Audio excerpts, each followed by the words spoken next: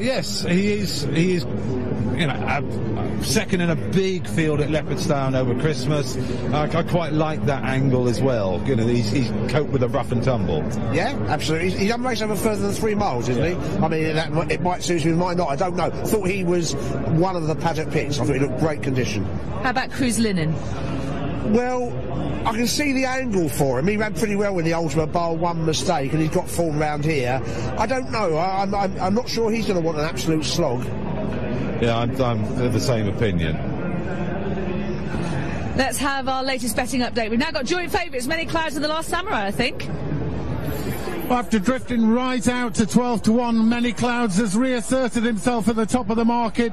I think he's pretty certain they're going to go off joint the last Samurai Many Clouds. The moves late on, surprisingly for me, Holywell, Goon Yellow well backed and shut the front door. Rise are being called towards the tape and they're off to a first timer. They're off and racing the Crabbies Grand National 2016. And as they stream down towards the first fence, Saint Are is one of the first to show.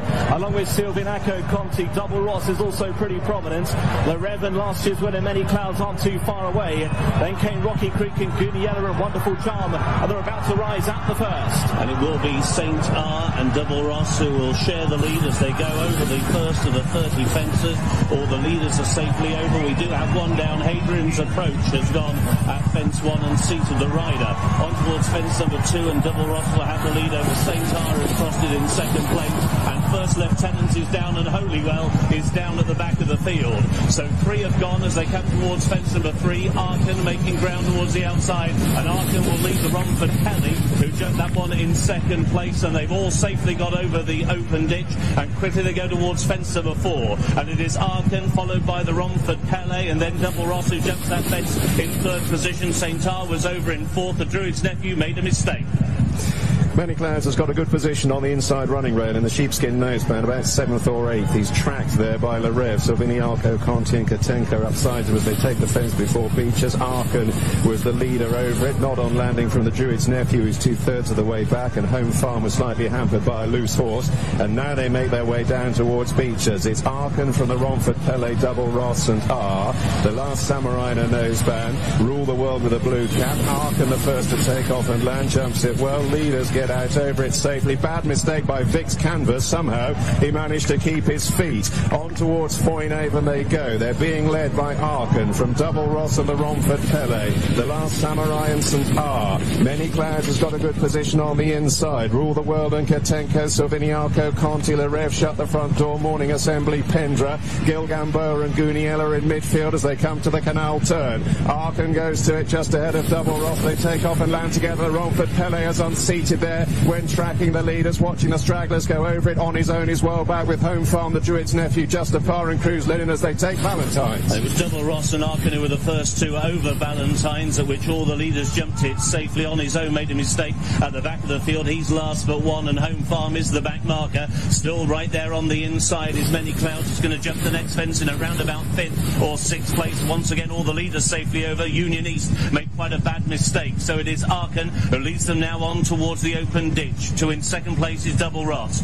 And then St. Are is in third and last Samurai jumped in fourth. Shut the front door was over in fifth. There was a mistake by Goonyella and also a mistake right out the back of the field by Kruzhlinin who is struggling and also a mistake and pulling up immediately is Rocky Creek who's out of the race. It's Aachen who leads them over the fence before the Melling Road. He's gone clear by a couple of lengths as the others stream over it and they go back towards the stand with Aachen out in front followed by Double Ross and then on the outside is St. Are. Back in fourth is the last Samurai, and then Many Clouds, who's had a good trip to this point.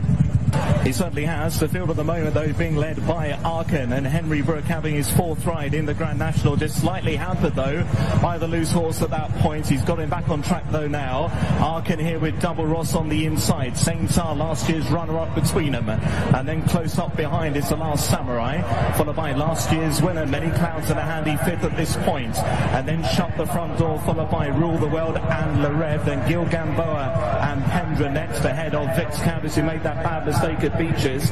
Next in the field then is Katenko. Then came Ballycasey as they come towards the 13th fence. Arkens is still the leader there over that. From St. Are in second, Double Ross in third. The last Samurai back in fourth and then shut the front door.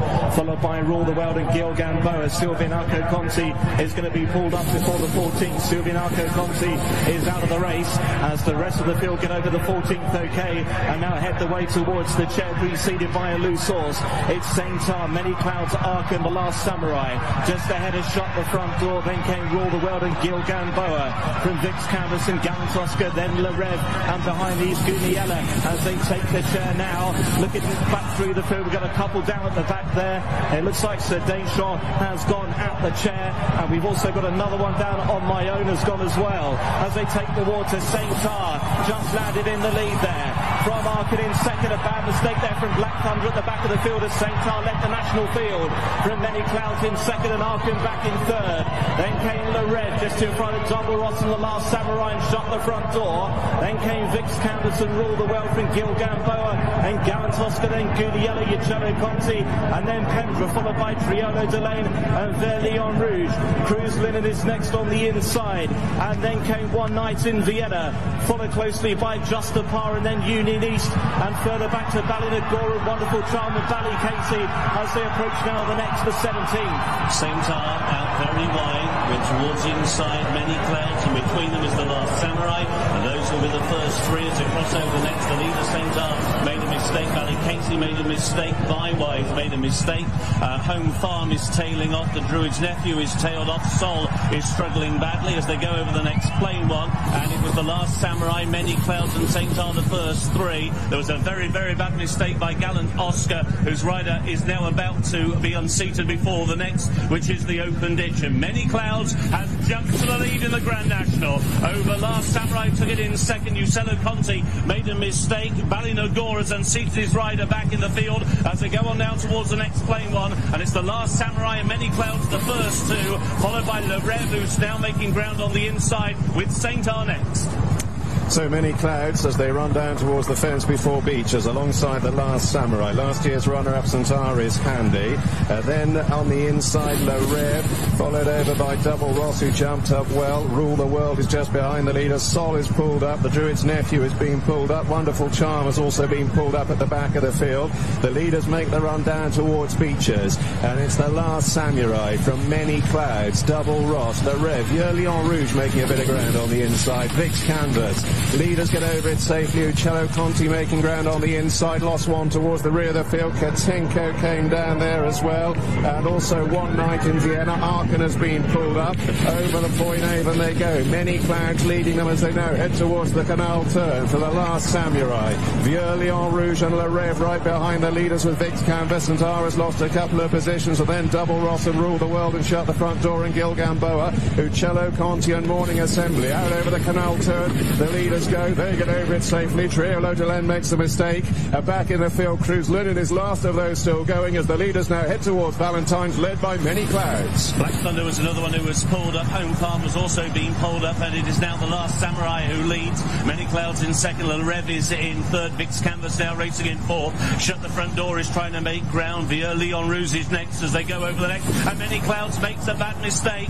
Pulling up at the back of the field is Double Ross. A bad mistake when tailed off by Union East. So it is now the last Samurai. The one who's out very wide is Morning Assembly, who's right there on the premises as they go over the open ditch. And a bad mistake there. A shuddering error by Rule the World. Pulling up at the back of the field is Kruzhlinin. So they've got three to jump in the Grand National. And the leader is the last Samurai. Two in second place, Vics Canvas. Many Clouds is on the inside. Morning Assembly towards their outside. They're then being followed by Gilgamboa. The grey Ballycasey is trying to make ground. Le Reve now begins to weaken as they cross over the Melling Road with two fences to take in the National. It's Morning Assembly towards the outside of the last Samurai. And there, right on the inside, back in third, is Vics Canvas. So they're on the way towards two out in the National. The last Samurai with a small lead from out wider Morning Assembly. Vics Canvas, the veteran, is right there with every chance, but slightly squeezed up against the rail. Many Clouds is under pressure next, and then came Gilgamboa as they work down towards the penultimate fence. And it's the last Samurai who shows the way under David Bass from Vics Canvas, Morning Assembly, Rule the World and Gilgamboa. Then came Ucello Conti, followed by Many Clouds, who's hard under pressure. Then Vieux Lion Rouge at two from the end. The last Samurai Rose the leader from Vics Canvas in second, Rule the World back in third. Then Gilgamboa.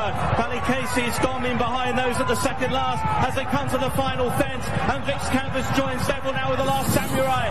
Over in third, Rule the World. Gilgamboa in fourth, then Ucello Conti and Vieux Lion Rouge. Now the running ahead of them. And Vics Canvas draws alongside the last Samurai. Rule the World is staying on to the outside. Gilgamboa back in fourth. They approach the elbow, three with a chance. Vics Canvas toward the rail. The last Samurai in the centre. And here's Rule the World on the outside. Who's coming home strongest of all? And it's Rule the World. The horse who's never previously won a race over fences. He's going to win the biggest one of them all here.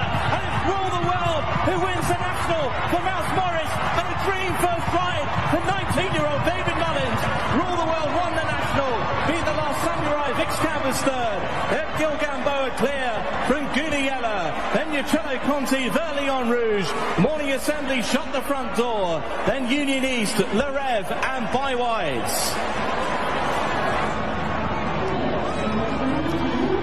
What a dream day for young David Mullins. He has won the Grand National on his first attempt at the big race on Rule the World for Mouse Morris, who was so associated with the likes of the last of the Brownies back in the late 80s and early 90s. He hasn't yet had a Grand National winner, but he has now in his second season novice Rule the World, second in the Irish National last season, now the winner of the 2016 Crabbie's Grand National. What a day for David Mullins. I bet he can hardly believe it. It was a fantastic finish. Then second was the last samurai for David Bass and Kim Bailey, running really well this progressive horse. And David Bass must have thought at one point that he'd got the race run. And a huge run also from Vics Canvas for Dermot McLoughlin, who was having his first runner in the race. Robbie Dunne was having his first ride in the race. And it was those three that fought out what was a thrilling finish.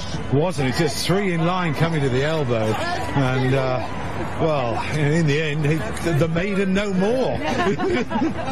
Absolutely, and it was a, it was an old-fashioned Grand National in many ways, including replete with the worry about the elbow and are they all going to get round it? I that watching it with Jonathan. He went the right angle, didn't he? He had a straight line actually. I, I think for one minute, oh no, please don't go left there, the uh, the horse in third. But in the end, he's really stayed, hasn't he? And that was that was hard work today. That was really hard work. He's a thorough stayer. Yes, he really is. He's he's toughed it out really well, and as you say, David Miller's got the angle really right for the elbow. He went round it with no problem, and he looms up on the outside of the last samurai and goes past him like a horse with a huge amount of stamina. Uh, I think in fourth it's Gilgamboa who's stuck on for fourth, isn't it? I think it might be. I mean, the, the runner-up has been there right from the start, and the third, it was all but down at Becher's first time round. I couldn't believe that he was still being called there.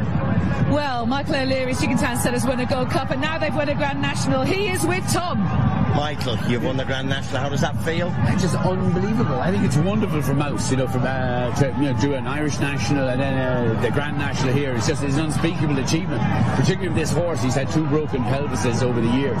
Um, and David Mullins, who's ridden the first uh, first time in the National to win the National on your first go, he gave him a peach of a ride. Um, I just I can't believe it. It's and he just dug in so deep, so deep when he was needed. He's fair, like he's always been that great stayer. He's just been unlucky. He was second in Irish National. He fell in the Galway Plate coming to the second last last year. He's been an amazing horse, but what a trainer Mouse is, you know, he doesn't have a big number of horses, but when he gets them there on the day, you know, they tend to perform extraordinarily well. I'm delighted for Mouse. I, you know, he's had a difficult year. I think this will be the cream on top. I mean, most people grow up sort of dreaming of Grand National victory. When it arrives, how does it feel? Unbelievable.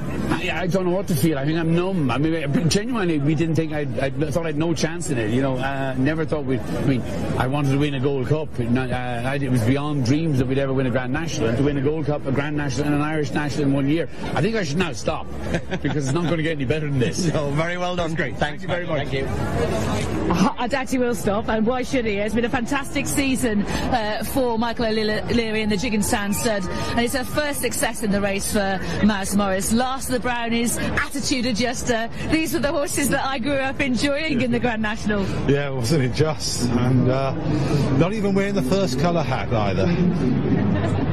and he's got the, the banner of success around him. And what a day for David Mullins. Yeah, fantastic. And he gave it a fantastic ride. He, he was still being really patient from two out with tapes and bottle. He was, you could see that he was going well in behind him, and he waited till the running to really let him go. And uh, he's the son of trainer Tom Mullins, of course, and the nephew of uh, Willie Mullins. in, in the Windsor enclosure.